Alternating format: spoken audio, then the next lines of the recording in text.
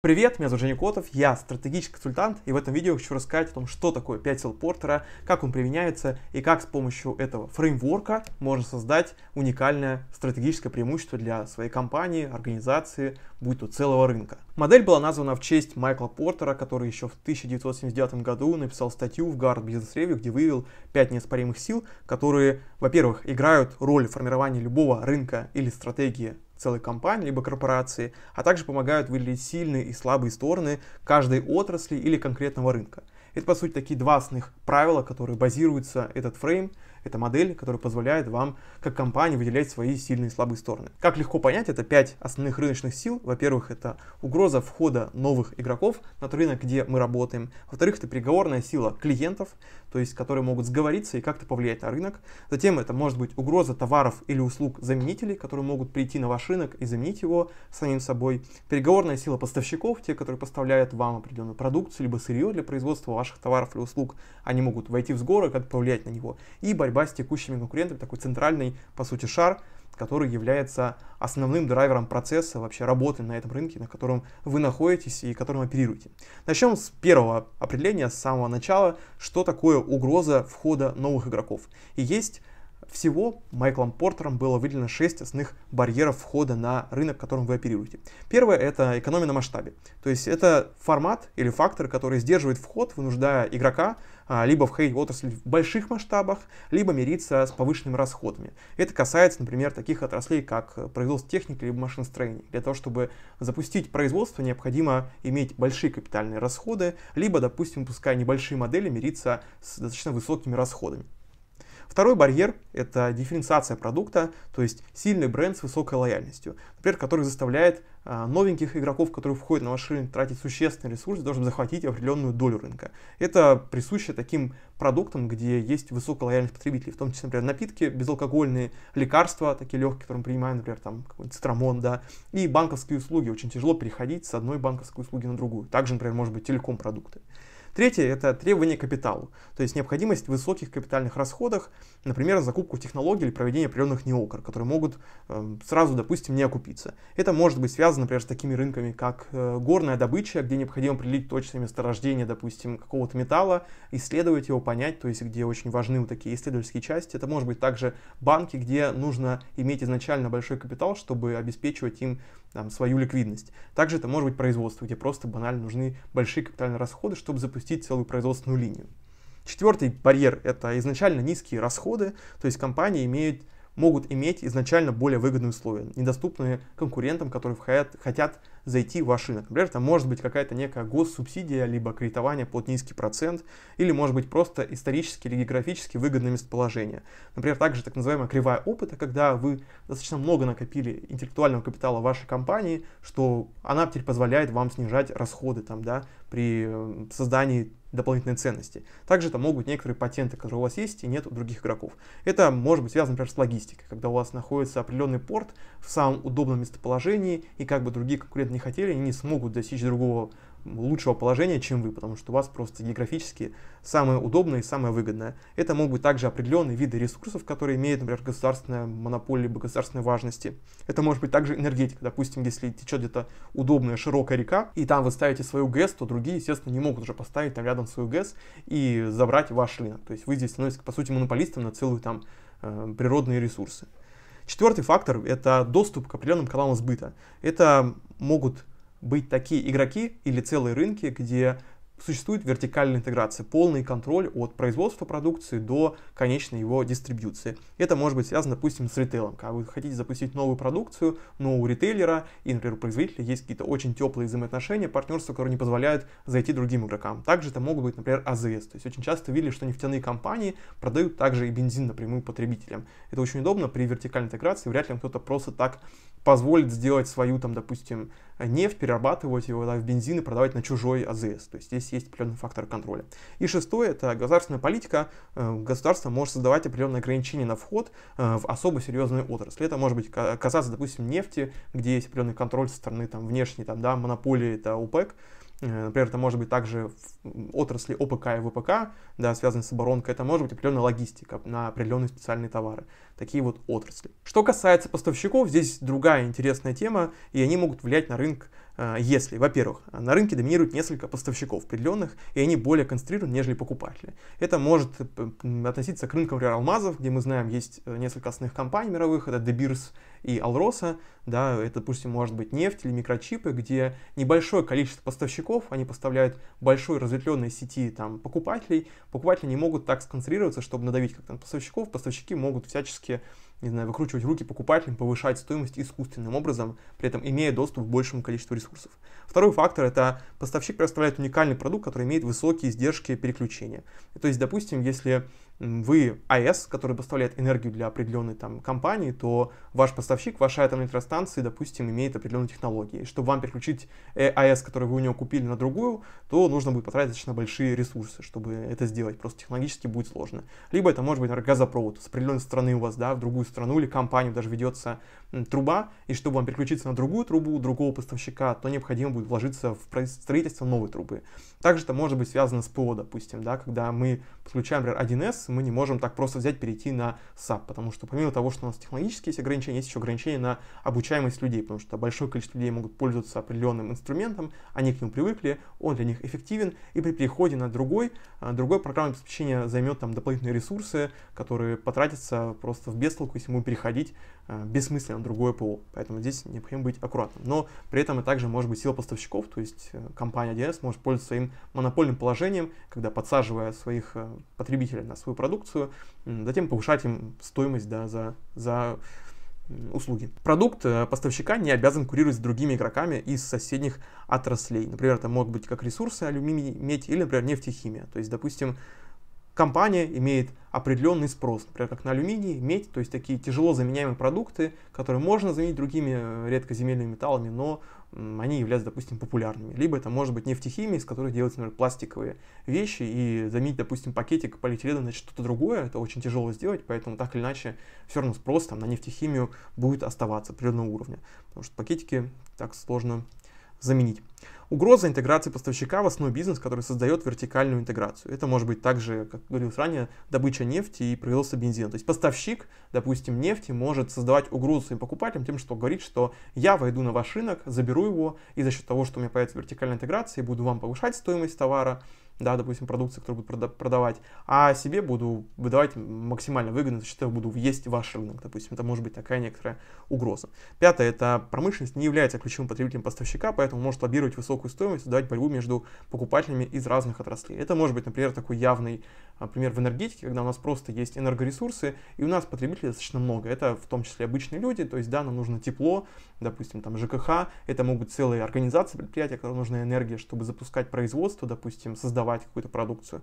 Это может быть также другой, например, логистика. То есть мы можем возить как пассажиров, мы можем возить как, не знаю, какие определенные товары, грузы, и у нас много-много разных потребителей. У нас ограниченная инфраструктура, но при этом много разных потребителей, мы можем всячески этим пользоваться при создавая угрозу для наших потребителей, будучи поставщиком. Следующий блок – это переговорная сила клиентов. И также является влиятельной, если, во-первых, клиенты имеют большие объемы закупок. Допустим, что касается недвижимости или нефтехимии. Если, допустим, клиент закупает определенный объем товаров, допустим, я как строитель недвижимости строю свой дом, мне нужно определенное количество бетона, то я могу приходить к производителю бетона и сказать, что я закупаю 90% ваших мощностей на следующий год, потому что я строю дом, и вы мне продаете по такой ставке. А покупатель, точнее продавец да, этих, этих мощностей может сказать, ну окей, да, это как бы хороший контракт, не факт, что у меня через полгода или там через три месяца будет новый контракт по лучшим условиям, поэтому я лучше договорюсь сейчас на определенный там поток денег, и мне он будет удобен, комфортен э, в течение следующего года. А может и дальше продлим этот контракт,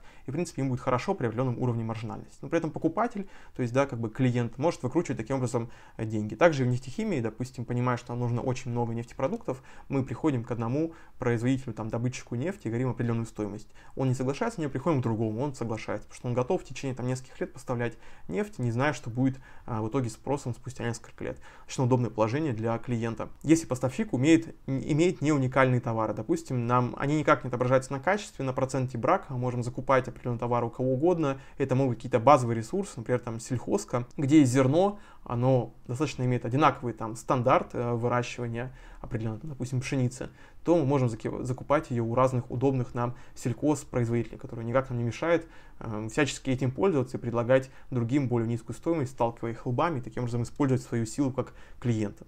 Третье, это покупаемая клиента продукт составляет высокую долю расходов. Очень часто бывает так, такой обманчивый фактор, когда у клиента, если большую долю его расходов составляет определенный тип товаров, то он очень тщательно относится к выбору поставщика. Это, например, касается продовольственной продукции, где нам нужно закупать определенный вид товаров. Например, допустим, сахар, он составляет большой процент, при этом в хлопьях где-нибудь, да, сахара, кукурузы. И мы очень тщательно выбираем поставщика сахара и кукурузы, потому что нам нужна определенная стоимость, чтобы сохранить нашу маржинальность. Поэтому можем всячески пытаться лоббировать интересы, предлагать какие-то, может быть, нематериальные факторы, если они такие могут быть для поставщика, и управлять этим. А там, где как раз-таки наоборот а, стоимость поставщика не сильно влияет на итоговую маржинальность, где, допустим, мультипликативный эффект невероятно большой, там, ну, например, какой-то высокотехнологичном производстве, то там это, наоборот, фактор не влияет. Мы готовы покупать за любую стоимость, продавать нам все, что у вас есть, мы купим, потому что мы заработаем там в десятки раз больше, чем вы на продаже своих ресурсов.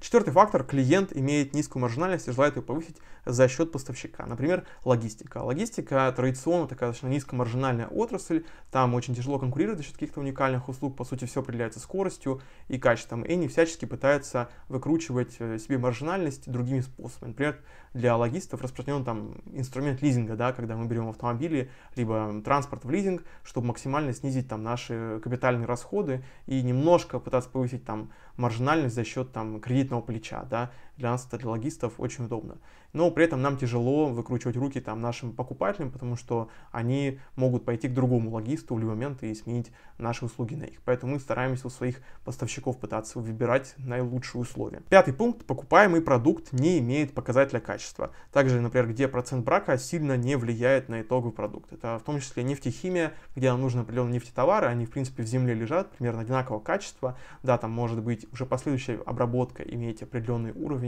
и там критерии, да, но базово продукт, э, он одинаков везде, под землей лежит, да, ну, может, где-то какая-то плотность отличается. Также это может быть важно при медицинском оборудовании, когда мы закупаем определенные товары, допустим, нужны какие-то средства металлические, да, для медицинского оборудования, необходимо, чтобы они имели там хороший вид, стандартный, да, одинаковый для всех, потому что если пациент придет в больницу, где скальпель выглядит очень страшно, там, да, какой-то металл такой покорябанный, некрасивый, не такой литой, как мы привыкли видеть, то он, может быть, не захочет лечиться в этой больнице, поэтому нужно здесь здесь к оборудованию относиться внимательно. И иметь продукт, который влияет как раз-таки на качество. И шестой пункт – это покупаемый продукт не экономит денег э, клиенту. То есть, например, это отрасли с высоким мультипликативным эффектом. Например, какие-то интеллектуальные или финансовые услуги. Например, тот же, э, допустим, инвест, инвестиционный банкинг. То есть, какую мы сделку выберем для того, чтобы купить там лучшую компанию для слияния поглощения. Сами услуги инвестиционного банка там с наперсток стоят да, для покупателей, зато могут иметь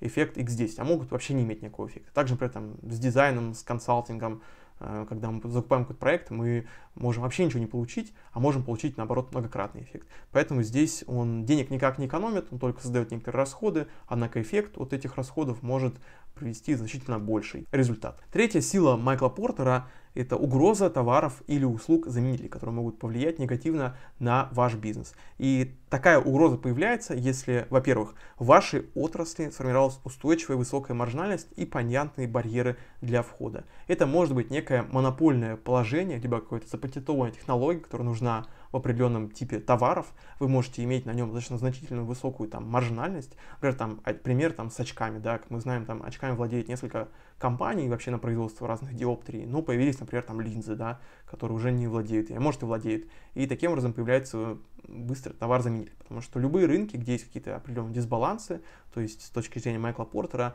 они имеют быстрый потенциал к поиску товара-заменителя, потому что все хотят получить ваш рынок, потому что он денежный и, соответственно, выйти в него. И тем более, зная все барьеры входа, все ограничения, то есть когда он простой, понятный, э, в него могут спокойно войти. Второе – это качество товара или услуги заменителя не уступает основному товару. Например, там последних новостей есть информация, что количество единиц проданных искусственных алмазов превысило оригинальные алмазы. Оригинальные алмазы стоят в 5 раз дороже, чем искусственные алмазы. И при этом мы знаем, что оригинальные алмазы — это искусственно созданная некая монополия на этот рынок. Поэтому, э, когда мы не видим никакой разницы между искусственным и настоящим, мы, конечно, выберем искусственное. Какая разница? Это же есть алмаз и бриллиант одно и то же.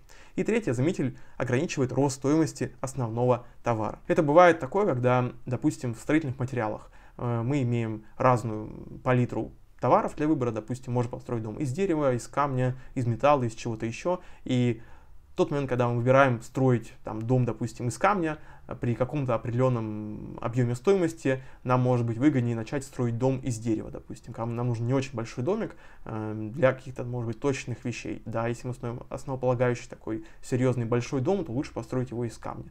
Да, и такие вот могут быть товарозаметители, которые появляются при определенном уровне стоимости. Это может быть также касаться транспорта. Очень часто мы готовы пожертвовать высокой стоимостью там, билета на авиаперелеты, лишь бы поехать, допустим, дешевле ЖД-транспорт. Там есть у каждого там человека или у каждого плюс-минус товара какой-то вот такой порог оптимальной стоимости. И последняя, пятая сила Портера – это борьба с текущими конкурентами. И она является угрозой, если конкурентов много, и они равны по размерам. Допустим, сейчас это касается автомобилей, либо какой-то техники, когда у нас много производителей из Японии, из Китая, из Штатов, из других стран, и они постоянно борются между собой, рынок такой неконцентрированный, тяжело договориться между собой. Второе – это медленный рост рынка, который усиливает борьбу между основными игроками. Это, например, касается нефтегаза, где любые там котировки на 1-2 доллара за баррель уже могут сказываться на объемы добычи нефти в разных странах, те, которые числятся в ОПЕК. Третье – это продукты или услуги сильно похожи на конкурентов и нет возможности как-то между собой выделиться. То есть она начинается тоже конкурентная борьба, лоббирование, может быть, какие-то политические влияния. Это может касаться, например, энергетики. Да, энергии, энергии много, непонятно кому продавать, и мы выбираем всяческие другие способы, как нам вытеснить конкурентов. Это может быть также бумага. Бумага плюс-минус там везде одинаковая, неважно какого производителя, мы выбираем тот, который нам удобен, а, либо предлагает самую низкую стоимость. И здесь необходимо придумать разные другие возможности для того, чтобы как-то выделяться.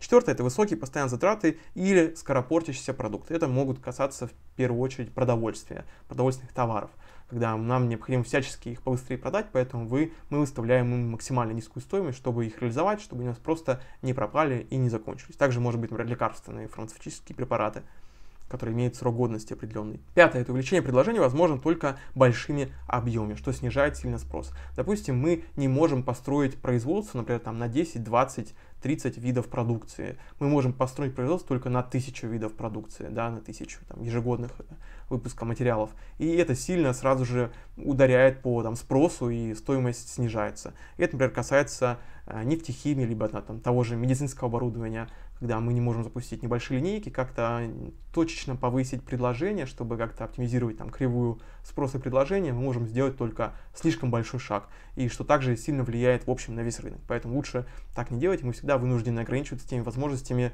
да, которые у нас есть, раз в какой-то период делать очень большой капекс, чтобы как-то возобновить наш бизнес, что сильно нас ограничивает.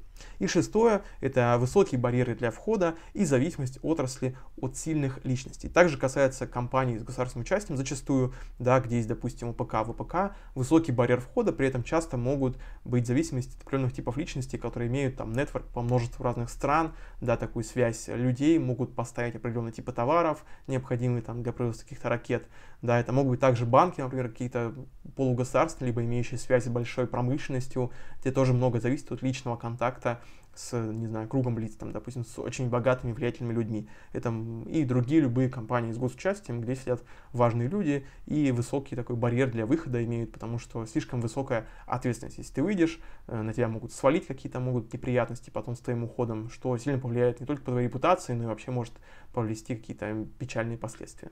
Если как-то суммировать вот этот весь опыт и вот эти все пункты, правила и факторы рынка, которые описал Майкл Портер, он в своей статье изложил пример э, напитка Доктор Пеппер, который, э, если распределить по пяти силам Майкла Портера, можно понять его ключевую концепцию, идею, задумку, та, которая была реализована, допустим, корпоративной этой компанией, которая разрабатывала напиток доктор, Пеппер. Во-первых, если смотреть на угрозу входа новых игроков на этих безалкогольных напитках, мы понимаем, что а, в тот момент, когда вот рассматривалось Майклом Поттером в 1979 году, э, риск того, что появятся новые игроки, минимальный, потому что уже тогда рынок состоял из Pepsi и Coca-Cola, которые по сути, монополизировали свой э, безалкогольный рынок напитков. Второе – это переговорная сила поставщиков. То есть Здесь у нас есть уникальный вкус, уникальный напиток, потому что он не похож ни на колу, ни на пепси, и компоненты позволяют не пересекаться с поставщиками колы и пепси. То есть мы имеем запатентованный определенный вкус, у нас есть определенный тип поставщиков, которые вряд ли нам будут выкручивать руки, потому что эти поставщики не нужны коле и пепси, да, то есть они нужны только для нашего определенного вкуса. Третье – это переговорная сила клиентов. Здесь у Dr. Pepper была уникальная возможность в том, что они сделали большую ставку на свой маркетинг и на лояльность потребителей. Они намеренно вкладывали достаточно большие ресурсы, значительно больше, чем Pepsi и Cola на тот момент, потому что Cola и Pepsi уже устоялись на этом рынке, им это было незачем. А вот Dr. Pepper нужно было. Поэтому они создали высокую лояльность вокруг своего бренда к, к напитку вот за счет этого маркетинга. Четвертое – это угроза товаров-заметителей. Здесь минимальный риск, потому что у нас есть Э, крепкая ассоциация с брендом, и вкус, он уникален. То есть его там нельзя повторить, потому что он, опять же, там запатентован, ну, так же, как, по сути, Кола и Пепси делают, Доктор Пеппер сделал так же. То есть придумали уникальный вкус, он всем нравится, и нравится определенному кругу лиц. И пятое, это борьба с текущими конкурентами. Здесь самый интересный момент, потому что Кола и Пепси в какой-то момент начали бороться за другие типы товаров. Они постарались всячески диверсифицировать свою линейку. То есть помимо того, что они захватывали рынки вообще всех напитков, не только безалкогольных, Имеется в виду, что, допустим, обычную воду также создавали виды продукции, создавали какие-то снеки э, и другую еду. Они боролись вот э, в других полях э, сражений да, между собой. В этот момент как раз-таки доктор Пеппер запустил свою маркетинговую кампанию, активно начал продавать свою продукцию. И там на момент 22 года, если в 79 году у них была доля 6%, сейчас у них доля примерно 8%. То есть они последние там уже почти 45 лет держатся на плаву. То есть как Майкл Портер написал эту статью, так они по сути есть сейчас продаются. Я проверил эти данные достаточно интересно, что вот у них такое сильное лобби там, да, в Штатах. Ну, в других странах может быть меньше. Я не знаю, какая доля, есть доля по штатам. Думаю, и на эту цифру он опирался. Поэтому доктор Пеппер захватил такую крепкую долю лояльных потребителей, которые не переходят на другие напитки. Но при этом Пепси и Коля очень тяжело с ними сражаться, потому что придумать схожий вкус может быть и можно, но такая крепкая ассоциация сложилась с этим брендом и вкусом, что ее очень тяжело перебить какими-то другими напитками. На этом все. Не забывайте подписываться на канал, ставить лайки, писать комментарии, а также подписываться на мой телеграм-канал, где я публикую разные уникальные новости из мира жизни, бизнеса, консалтинга, зачастую темы, которые не выходят на основном канале. Всем пока и до новых встреч!